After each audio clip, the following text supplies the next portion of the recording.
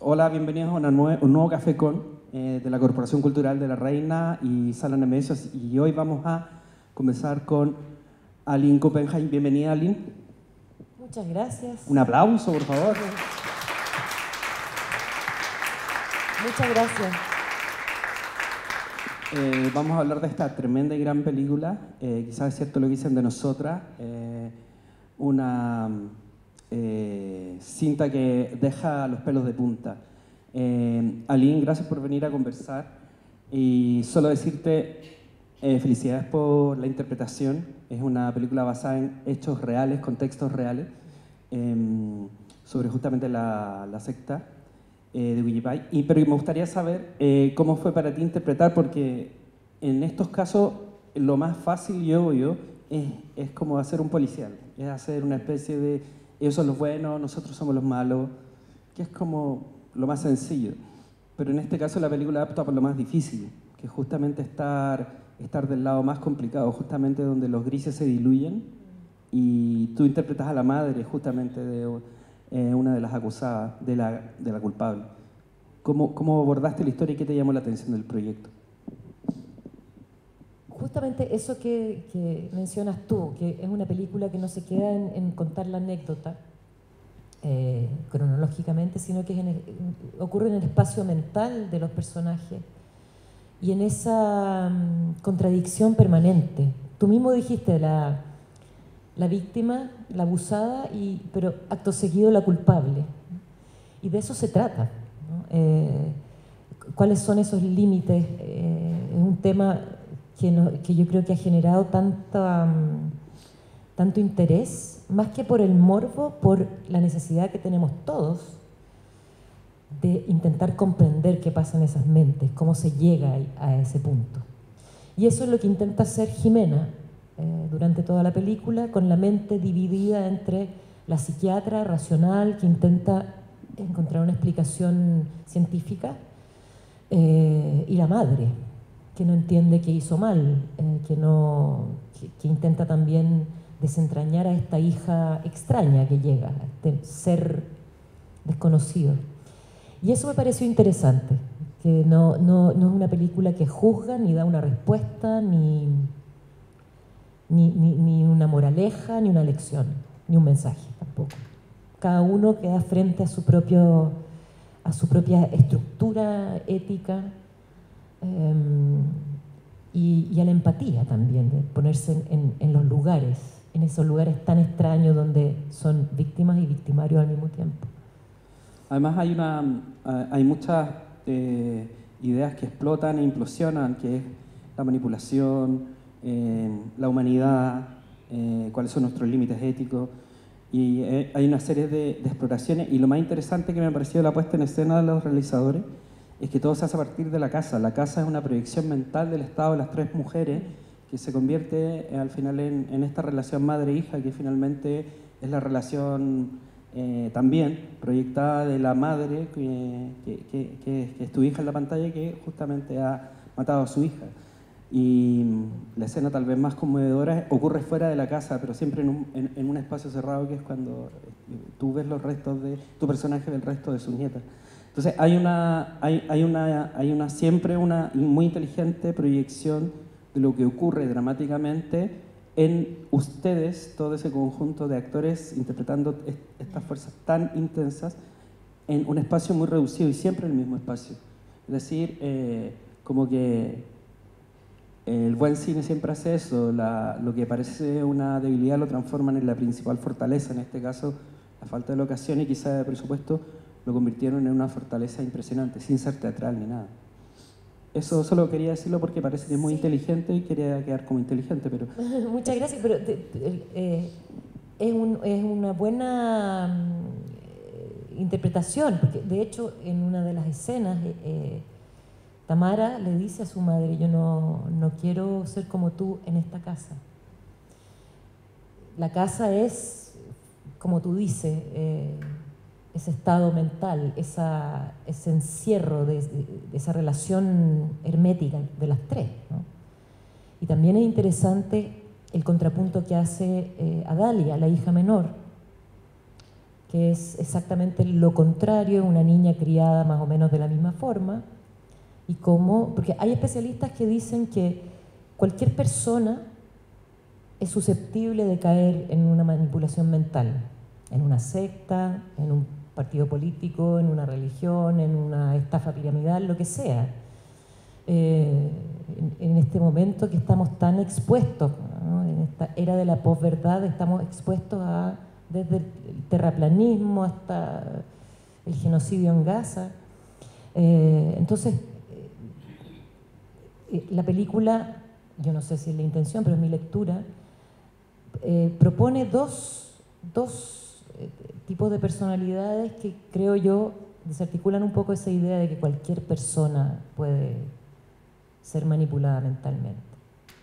Yo creo que es interesante eh, la alerta que pone eh, la película, estar atentos a no dejarnos manipular mentalmente.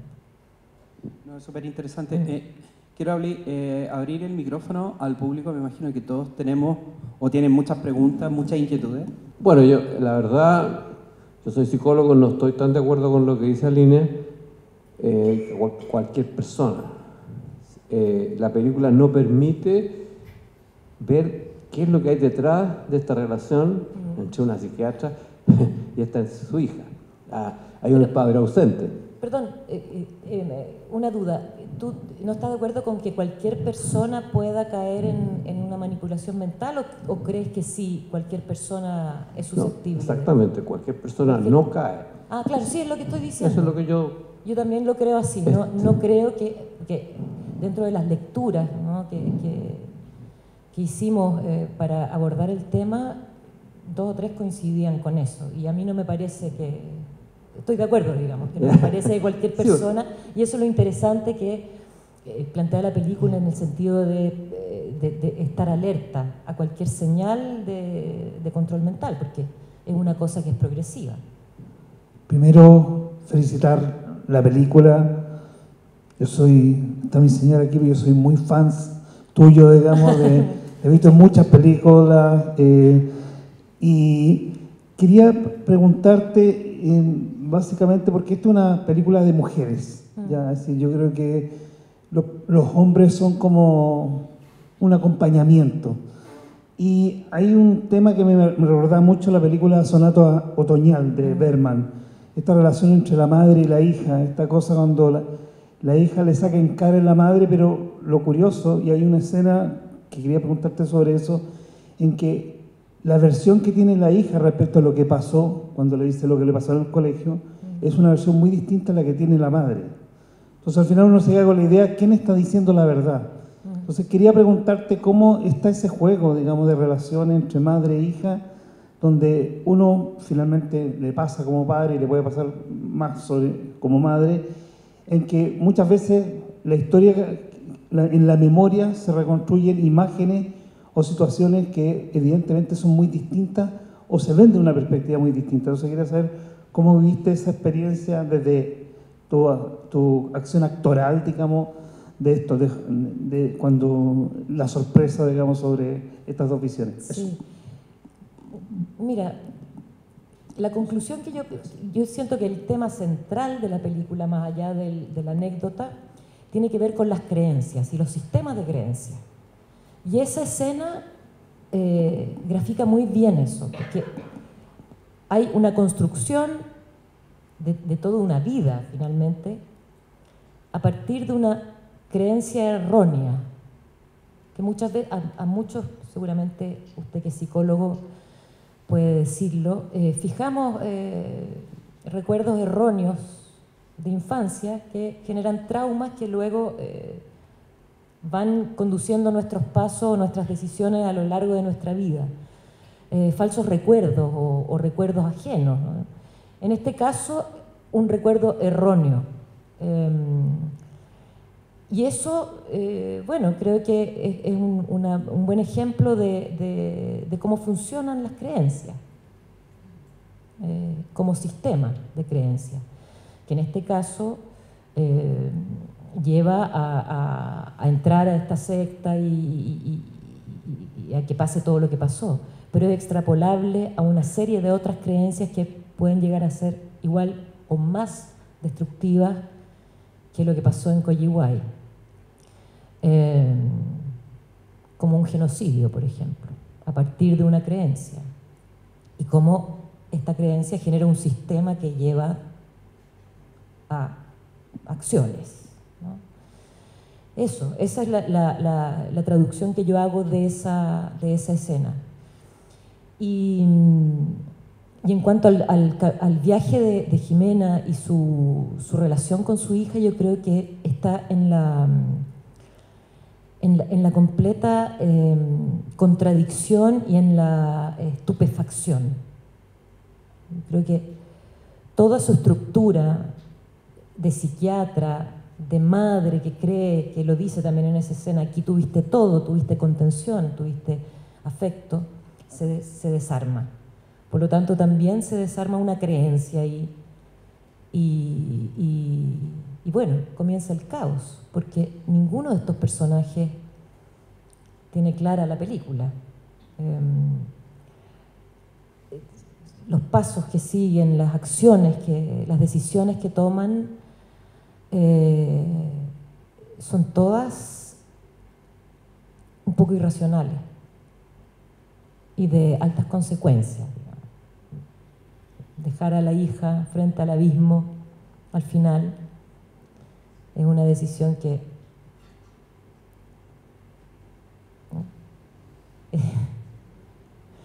claro, es la complejidad de los laberintos de la mente humana. A veces uno no sabe cómo hacerlo y yo creo que estos personajes no saben. Solo Adalia, la hija menor. Eso. Es una, es una película que... Cuestiona mucho. Sí, una película que cuestiona, incomoda, eh, sorprende. Una de las cosas que a mí me, me va a tomar la palabra un poco solamente porque, porque puedo, porque quiero y porque es gratis, Tres razones de forma. Quiero, quiero preguntar cómo fue la relación con las, con las tres actrices, básicamente. ¿Cómo fue ese trabajo de mesa, eh, leer el guion y con los directores, además? Porque lo que logran en pantalla, aparte de, puedo elogiar el realismo, la siempre notable interpretación de tu parte y, y de las jóvenes actrices, pero creo que es muy sobresaliente lo que hicieron justamente porque se mueven y, y caminan en este eh, plano lleno de grises, ambigüedades e incomodidades también. Eh, ¿Cómo fue ese trabajo entre, la, entre las tres para que finalmente lucieran una familia real en pantalla? Bueno, contribuyó mucho el hecho que fuera esa casa, eh, porque grabamos durante muchos días en ese mismo, ya se transformaba en un nuevo cotidiano, ¿no? Levantarse en la mañana, ir a esa casa a filmar y eso empieza a generar, generar una, una familiaridad, una relación un poco de burbuja, que fue potenciando esta, esta complicidad o esta química, pero al mismo tiempo mucha conversación, porque eh, es un tema lleno de grises y de ambigüedades y uno, no, es difícil tener una sola opinión acerca de, de, lo que pasó, de, todo, ¿no? de si es víctima, si es victimaria, si, si había otra salida, si no. Eh, leímos mucho. Eh, entonces, mucha conversación y algo muy interesante que pasó en el rodaje es que, al menos para mí, eh, fue primera vez que trabajaba con dos directores en la misma unidad, o sea, dirigiendo la misma escena. Sofía y Camilo dirigieron la película juntos de comienzo a fin. Y eso le daba mucha, em, eh, mucha eh, tridimensionalidad, mucho relieve, mucho, porque cada uno tenía una mirada, además de un hombre y una mujer. Entonces, eh, ese espacio de, de reflexión se daba per se, porque ambos tenían una mirada distinta de la escena. Entonces, muchas veces grabábamos las dos versiones, la de él y de la de ella, sutilmente. Y, creo que eh, el hecho de que ellos tuvieran todo ese material para poder eh, jugar, eh, modelar ese montaje, es un poco distinto a lo que me imagino que es para cualquier otro montajista que recibe un material que sale de una sola cabeza, de un y eso era interesante. Yo creo que eso es lo que le da la ambigüedad eh, y, y, línea eh, no lineal, digamos, de actuación eh, y las contradicciones. Exacto, hay como, hay como, una línea difusa, pero mm. que se complementa y le da toda esa contradictoriamente solidez y, y algo concreto a pesar de lo difuso. Sí, porque el tema es así es concreto, es concreto y es difuso y uno lo puede mirar, eh, pensar una cosa y al minuto siguiente pensar otra. es muy inquietante el tema de las creencias, eh, muy, muy inquietante. Eh, por favor, si alguien quiere hacer otra pregunta. Al tiro estamos con usted, caballero. Atrás creo que alguien quería hacer en realidad no es una pregunta, es como una reflexión, porque eh, uno podría pensar, yo pienso como, como que podría ser que el final o que la historia no terminara así, que no una niña que, que llega al país de su madre y que no logra adaptarse termina, porque de repente uno piensa como que hay un determinismo, en realidad se sintió sola, vulnerable, hubo un tipo que supo cachar eso y, y, sacar beneficio.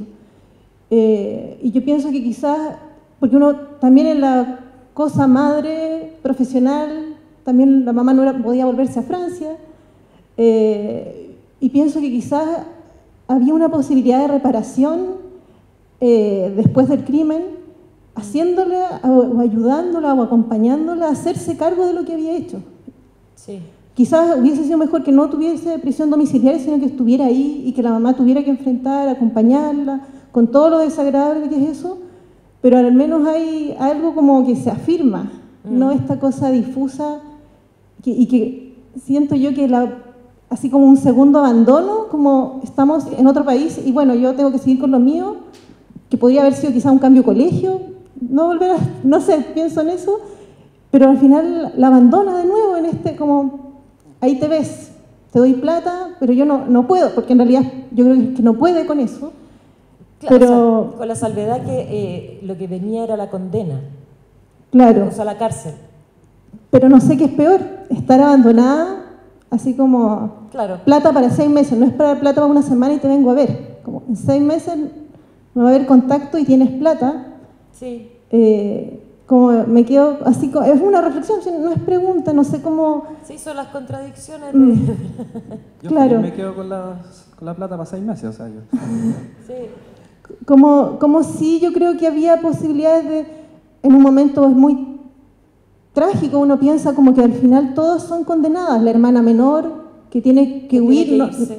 tiene que irse, la mamá que pierde también la credibilidad profesional, mm. eh, pero creo que en el reconocer, bueno, ahí está la, la reparación y el reconocimiento, el reconocimiento como de la culpa, que si hablamos del trauma chileno en dictadura que todavía no se puede porque no hay reconocimiento y reparación, al final eh, como que estaba la posibilidad de que esta niña pudiera, siento yo, como volver a ser persona, porque está ahí, está como alguien que no, también no expresa sentimiento, uno dice es como un ente, no...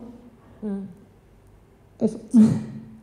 Como lo, que parece la ayuda de la mamá de no dejarla meterse, o sea, no irse presa, creo que al final es, peor. Sí, ciertamente. Ciertamente, el lugar donde la deja es un lugar donde queda abierta la muerte. Es una, claro, como dice Aline, es, un, es, una especie de abismo bien metafórico. Es el abismo. Lo que sí hay un intento de, de, de hacerla comprender, ponerla frente a lo que había hecho porque yo creo que ni mil años de cárcel bastan si es que no te das cuenta de lo que hiciste. ¿Qué es lo que está pasando con los presos de Punta Peuco? Hay uno que tiene 1200 años y todavía no, se arrepiente ni pide perdón por lo que hizo. Eh, de, nuevo volvemos con, con usted, claro. ¿Ah? Es que, sí.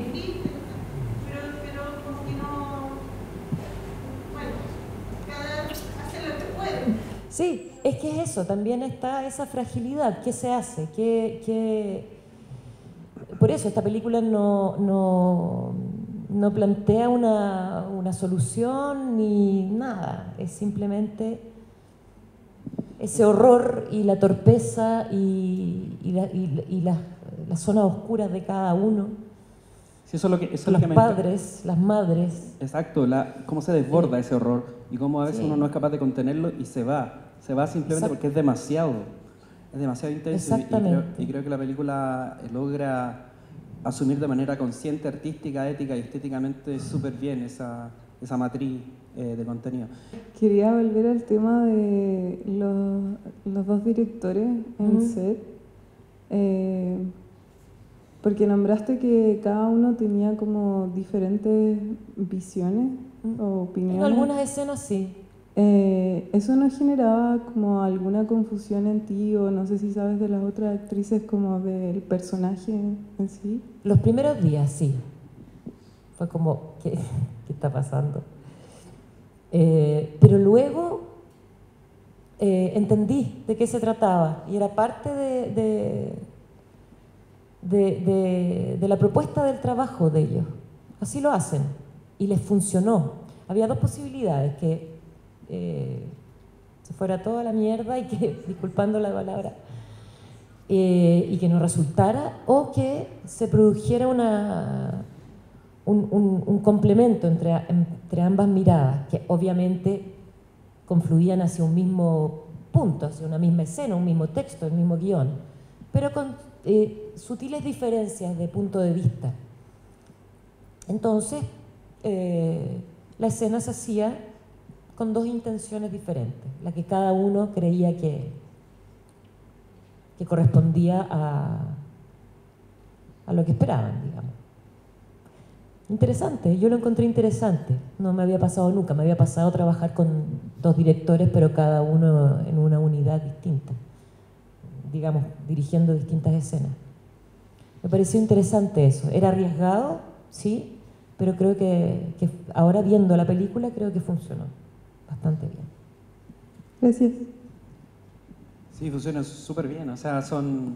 Yo tampoco nunca había escuchado esa técnica. Me imagino que debe ser frecuente tal vez en alguna, alguna otra cinta. Sí, allá el señor, por favor. Hay una cosa que me pareció muy bien elaborado, que es el montaje de la película. Es una película que requiere, además de las anécdotas que tú dijiste, que eran dos directores de repente, el montaje es una cosa bien compleja en cine. Y creo que aquí fue muy importante el poder realmente hacer un buen montaje. Sobre todo con dos versiones de, de cada escena. Sí, es notable el montaje, estoy de acuerdo. Además que el montaje de la película mantiene, un, eh, mantiene una coherencia pese, pese a estas dos versiones que no, en verdad no se notan en el montaje final.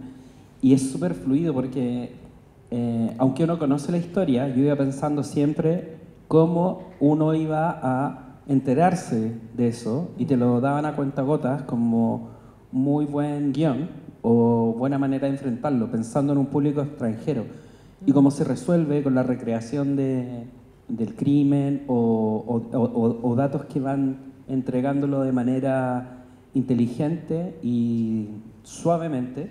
Creo que eh, en ese sentido el montaje funcionó además muy bien, eh, porque em, controla muy bien la incomodidad y malestar permanente. Y creo que eso es, eso es eh, demasiado relevante y principal a la hora de hacerlo. Muy buena acotación la del montaje. Eh, después Sí. me anota su cuenta Ruth para Para hacerle llegar un... un, un aporte, porque muy, muy, eso es verdad, la película básicamente creo que funciona, además de las actuaciones y todos los elementos técnicos, funciona muy bien por un montaje eh, sobresaliente en ese sentido. Eh, yo también quería hacer esa pregunta de, a la hora de investigar este caso, Aline, a la hora de eh, ver el caso real y ver la investigación que uno puede hacer como actor y como intérprete, eh, ¿cómo fue ese acercamiento eh, como equipo y especialmente tú como la protagonista de la película? ¿Cómo, eh, te, te documentaste, viste, viste material de prensa, eh, pudiste tal vez, no sé, y ahí no sé si fue tan así, entrevistarte o conocer a protagonistas reales de la historia. No, nunca nos metimos ahí. Nunca nos metimos eh, porque partíamos de la base que es una ficción inspirada en un caso, pero eh, no son los personajes, no, son totalmente distintos. Pero sí, me documenté, leí, eh, por ejemplo, el libro del papá de, Undurraga, entre otros, mucho material, hay mucho material, hay varias eh, eh, recreaciones que se han hecho, bueno, ahora está, pero fue después el documental de Netflix, pero más o menos esa- ese es el material que, con el que trabajamos. Eh, Bueno, además que claro, justo, justo viene el documental de Netflix, Sí. o sea, salieron muy coordinados, me imagino que no sin Casualidad planificar. total, casualidad total. Y son, bueno, dos, dos puntos de vista muy distintos.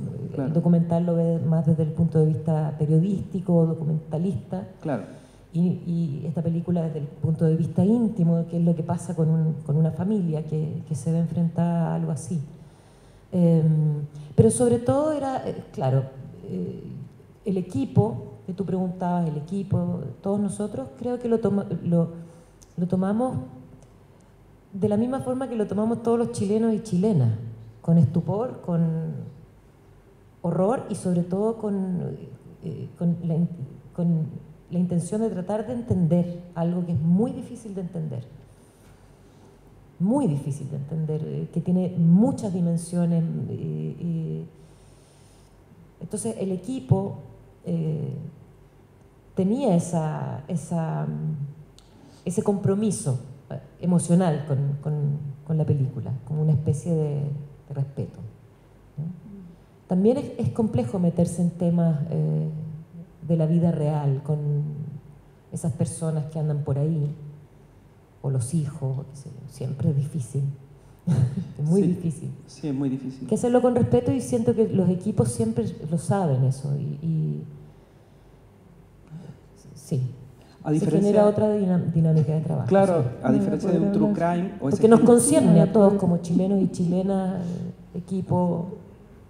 Lo que tú decías en un momento, a diferencia del true crime, que es ese género que explora el crimen y trata de, de subrayar el morbo, en esta película es todo lo contrario. El morbo queda fuera de lado y uno entra en esta intimidad de los personajes y un excepcional trabajo de eh, eh, interpretación, especialmente de tu parte.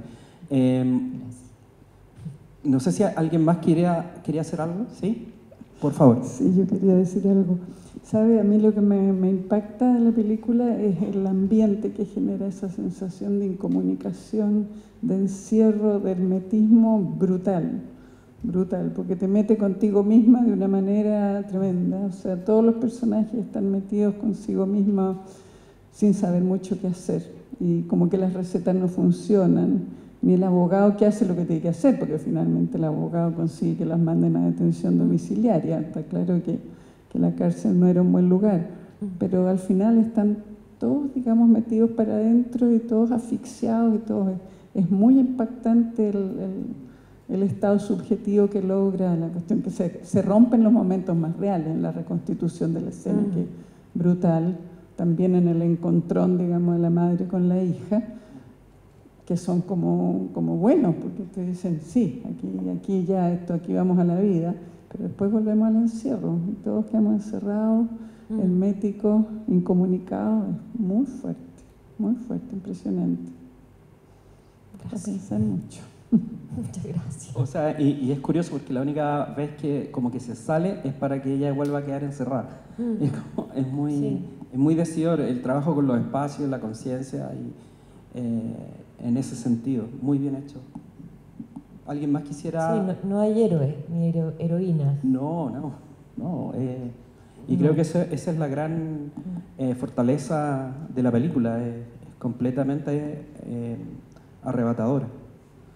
Bueno, lo primero es ¿Dónde felicitarte porque realmente es acá una actuación fantástica. Gracias. Eh, la película sí, coincido con la señora, eh, en una sensación de encierro, además la, cámara no, no tiene muchos movimientos, son todos muy fijos. Entonces, de inmediato, por lo menos a mí me ocurrió que eh, esta sensación de incomunicación, de encierro, eh, te toma desde las primeras escenas. Bueno, pero eh, aquí el maestro decía algo que en relación a tu rol y yo quería preguntarte con respecto a eso. Tenías en el fondo dos roles, el de madre por un lado y eres una psiquiatra por otro. y hay un momento donde tú te enfrentas a tu hija y le dices, mírame, y es un momento muy fuerte, y le dices, mírame y dime qué te pasa, no, y no la dejas arrancarse, digamos. Y ella trata de protegerse, en fin, y le, tomas la cara incluso y le dices, mírame, mírame, ¿no? Y eso requiere de un eh, conocimiento terapéutico. Yo también soy psicólogo, somos todo tipo de psicólogos, hay de todo, por ese caso. Hay algunos, en fin. Eh, entonces, ¿cómo te preparaste? En el fondo, eh, te quería preguntar eso. ¿Cómo te preparaste para esa escena? Porque a mí me resultó, además de una actuación fantástica, como muy realista en términos terapéuticos. A eso me refiero. E, esa preparación terapéutica no es fácil.